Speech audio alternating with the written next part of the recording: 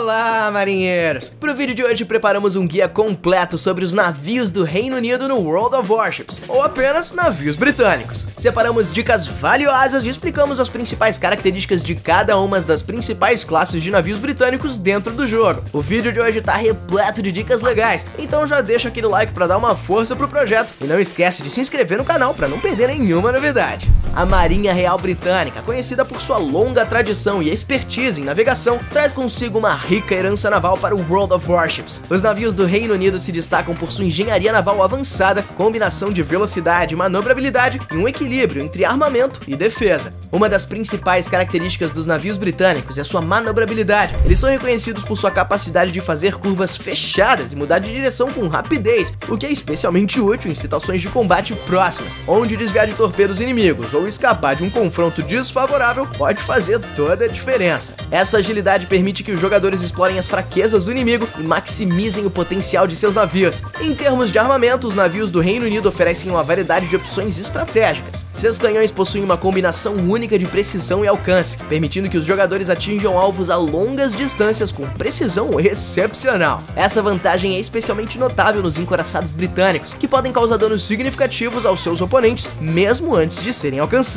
Os cruzadores britânicos também se beneficiam desse aspecto, sendo capazes de infligir danos significativos com seus poderosos canhões. E agora eu tenho uma ótima notícia para você que está começando a sua jornada em World of Warships. Eu tô com um link recheado de prêmios para novos jogadores ou jogadores antigos que estão retornando ao jogo, incluindo o mais recente navio brasileiro, o Almirante Barroso. Esse navio pertence à exclusiva linha pan-americana de navios pesquisáveis do World of Warships. Além dele, você também receberá mais dois navios, o encoraçado New York o contra-torpedeiro Mutsuki, 1 milhão de créditos, 300 dobrões e 7 dias de conta prêmio. Tudo que você precisa fazer é se registrar agora mesmo no link da descrição.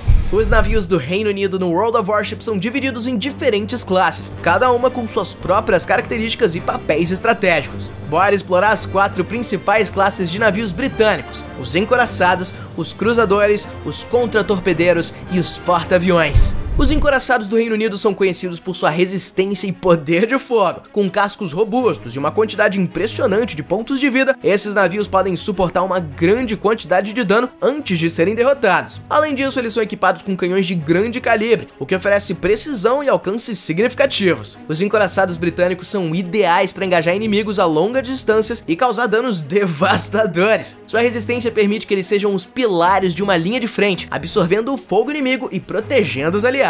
Um dos grandes responsáveis por tudo isso é o seu consumível de recuperação de HP, a equipe de reparos aprimorada. Ela permite que eles percam grandes quantidades de energia ao longo da partida e depois recupere tudo outra vez, como se estivessem reconstruindo seus navios em tempo real. Outro detalhe importante a ser mencionado é a alta eficiência dos seus projéteis HE. Eles possuem uma das melhores munições HE do jogo, causando danos severos a qualquer classe de navio inimigo, além de muitos incêndios. Os cruzadores do Reino Unido são conhecidos por sua versatilidade e poder de fogo rápido. Eles possuem uma combinação de canhões de calibre médio a grande e uma grande quantidade de torpedos. Essa combinação única permite que os cruzadores britânicos causem danos significativos, tanto a longas distâncias com seus canhões precisos, quanto a curtas distâncias com seus torpedos devastadores. Além disso, eles são ágeis e têm a capacidade de realizar manobras evasivas, o que os torna ótimos para flanquear inimigos e desempenhar um papel de apoio na batalha. Assim como os encoraçados, eles também possuem uma equipe de reparos aprimorada, permitindo uma sobrevivência extra nas batalhas. Não podemos deixar de mencionar a diferença existente entre os ramos de cruzadores leves e pesados. Cruzadores leves liderados pelo Minotaur não possuem munição HE, somente AP, e por isso possuem ângulos de ricochete aprimorados e o tempo para armar os seus projéteis no interior do navio penetrado é menor, diminuindo as perfurações, principalmente em contra-torpedeiros. Já os cruzadores pesados possuem ambas as munições HE e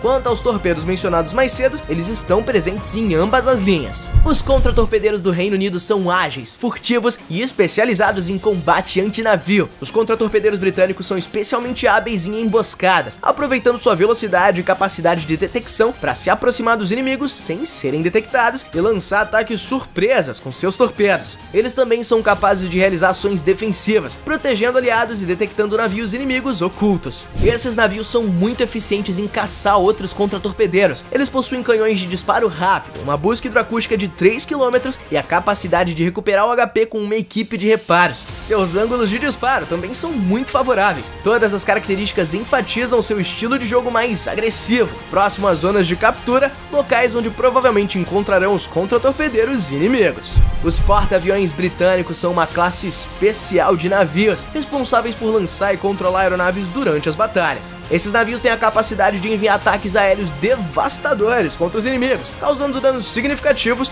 e apoiando as operações da equipe. Os porta-aviões britânicos são conhecidos por suas bombas HE poderosas, capazes de gerar grandes incêndios, além dos esquadrões de foguetes e torpedeiros. Ao jogar com porta-aviões britânicos, é essencial entender a mecânica de controle das aeronaves. Você vai precisar planejar e executar ataques coordenados, aproveitando as fraquezas dos navios inimigos. Além disso, é fundamental prestar atenção à defesa antiaérea inimiga, evitando áreas de alto risco e adaptando sua estratégia de acordo com a situação. Os porta-aviões britânicos podem ser uma classe desafiadora de dominar, mas com prática e conhecimentos adequados, você vai ser capaz de causar um grande impacto nas batalhas e contribuir para a vitória da sua equipe. Essas são apenas algumas informações iniciais sobre as classes de navios do Reino Unido no World of Warships. Cada classe tem sua própria árvore tecnológica com uma variedade de navios, cada um com suas próprias características únicas. É importante explorar todas as opções possíveis e escolher aquela que melhor se adequa ao seu estilo de jogo.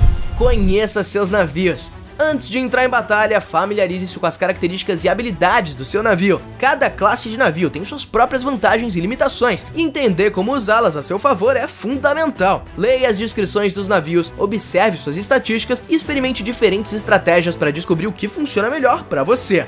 Estude os mapas. Os mapas em World of Warships são diversos e oferecem oportunidades táticas únicas. Preste atenção aos pontos de captura, obstáculos naturais e áreas de cobertura. Aprenda as rotas comuns e os pontos de emboscada. Compreender a geografia do mapa vai permitir que você tome decisões mais informadas durante a batalha.